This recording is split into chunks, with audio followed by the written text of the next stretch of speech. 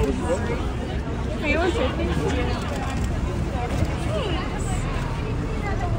can I get a picture? Yeah, right Megan, right here, real quick. Excuse me.